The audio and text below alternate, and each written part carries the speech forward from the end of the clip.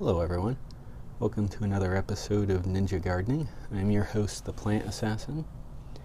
I haven't hosted any plants that were native to Australia yet, although I have several of them growing um, out in my yard and in pots. So I wanted to go ahead and host this plant today. So, just looking at it, you would uh, think that it was similar to certain cultivars of sweet potato or possibly uh, morning glory.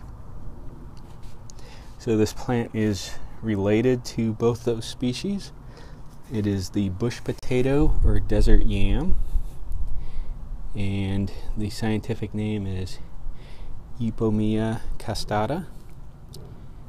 And as I've already said, it's native to Australia, but it's uh, up in the northern parts of Western Australia over to Queensland.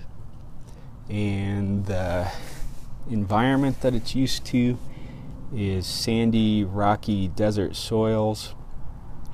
It's very drought tolerant and very heat tolerant. So that's one of the reasons why I chose to grow it.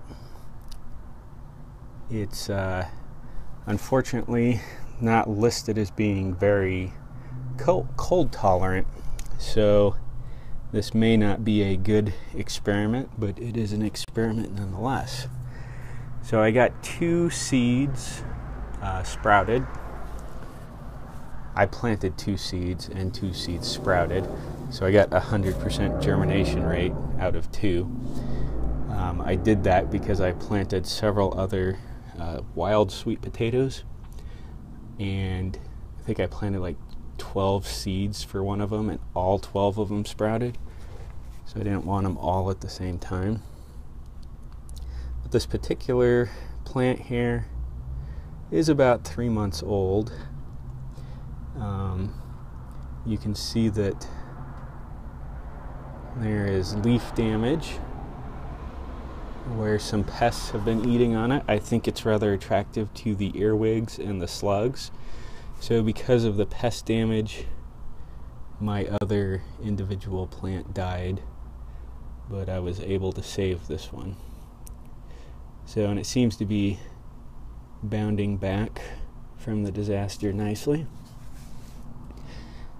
So, this uh, plant creates a taproot that uh, will go down and form a tuber, much like it looks like a sweet potato. And those tubers can get rather deep. Um, some of the information I read indicated that they can get down to a meter or more. Now, the Australian Aborigines would uh, harvest this plant and interesting thing about the tuber growth is there's the tuber that goes straight down, but then it also uh, forms lateral shoots underground that smaller tubers grow off of. And those are the tubers that are usually eaten, from what I can tell, because they're where they're smaller.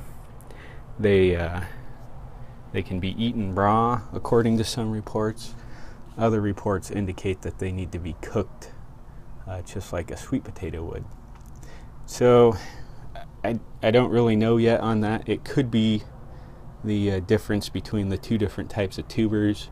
Maybe the lateral tubers are more fruit like, um, they've been described like a jicama.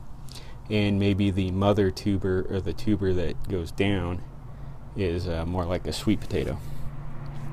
I um, haven't been able to grow one long enough to know yet, so it will be an interesting experiment. I will take this plant in over the winter and uh, then I'll plant it out um, in one of my raised beds next spring. Hopefully, it'll be large enough then. My plan is to get flowers on this. The flowers are uh, gorgeous flowers. They're they're large And uh, if you do a search for the species on Google Images, you'll see that they're these large bluish purple pink flowers. And they look quite striking out in the Australian uh, outback desert areas. But uh, I'll get the flowers, harvest the seeds, and then I will experiment more with the with the seeds that I have. But this plant, I'm gonna try to make sure and keep it very safe until I find out more about its cold hardiness. Uh, as a final note, the uh, these types of plants, these wild sweet potatoes, they um, really hate it when you transplant them while they're growing. You need to wait for them to go dormant. So I almost lost a couple of my uh, North American wild sweet potatoes. Um, very similar plant, but they don't. They they resent having their roots disturbed. So it went dormant for about a month. I thought they were gonna die, but then they sprouted back. So so you need to wait until the uh, vine grows or dies back to the ground before you transplant them. Just as a side note. So if you uh, want to know some more about how the Australian Aborigines would uh, harvest these, there's some interesting pictures and there's also some videos on YouTube. Um, they would go around and thump on the ground with their hand and listen for the the hollow sound. And then that's where they would dig. So and there's a couple of videos that show the the lateral uh, tubers growing off those lateral roots. So so interesting plant. It certainly blurs the line between edibility and beauty in the landscape. So I'm hoping it will grow in Idaho. So, and if not, well, now I know. anyway, this is the Plant Assassin. If you found this video informative, please like and subscribe.